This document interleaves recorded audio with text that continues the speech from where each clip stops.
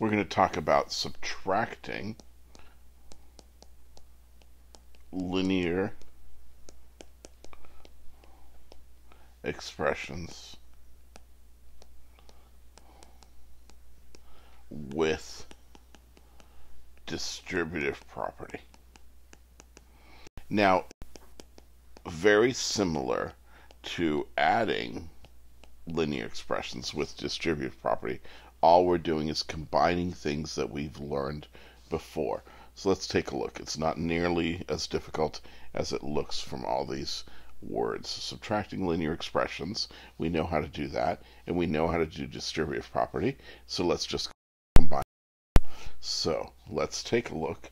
How about if I have 3 times 2x plus 5 minus 2 times 5x plus 7. So what we need to do is distribute. Now the first one's pretty easy. 3 times 2x is 6x, and 3 times 5 is 15. You should be pretty good with that. Now we need to distribute the second one, and the second one's actually really easy. We just need to remember that we need to, to distribute that negative 2.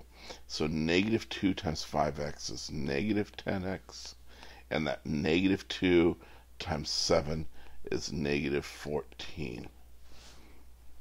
So we have 6x plus 15 minus 10x minus 14 because we have negative 2 times 5x and negative 2 times 7. And now we just combine the rest of those. We have 6x minus 10x, that's negative 4x. 15 minus 14 is plus 1. And so that is all there is to subtracting linear expressions with the distributive property. So let's take a look at another example. How about 3 times 2x minus 4 minus 2 times 5x minus, let's say 8. I don't know. Whatever number we want. I'm just making these up. So 3 times 2x is 6x.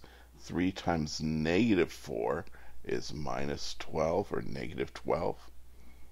And now we have negative 2 times 5x is negative 10x. And negative 2 times negative 8 is plus 16. You can see why it's really important for you to know how to multiply negatives and positives times each other, particularly positive and negative integers. So now we have 6x and minus 10x, that's negative 4x and negative 12 plus 16 is plus 4. Let's try another one that's got just negatives all over the place. How about negative 3 times negative 2x minus 5 minus 2 times negative 3x minus 7 lots and lots of negatives. So let's see what goes on. Negative 3 times negative 2x is 6x. Negative 3 times negative 5 is 15. Then next one, negative 2 times negative 3x is 6x again. And negative 2 times negative 7 is 14.